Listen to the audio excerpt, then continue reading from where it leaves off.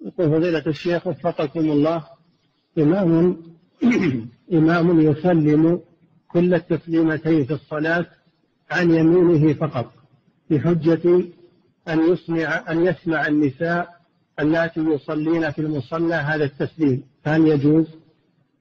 النساء ما يسمع إلا سلم عن اليمين فقط يسمع عن اليمين وعن الشمال فلا يهجر السنة علشان هذه ال...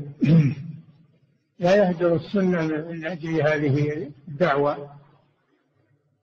والنساء مثل الرجال يسمع عن التسليم عن اليمين وعن الشمال ولا يقتصر على تسليمة واحدة لأن هذا فيه خلاف. وبعض العلماء يبطل صلاته فلا فلا يترك التسليمة الثانية التي عليها العمل.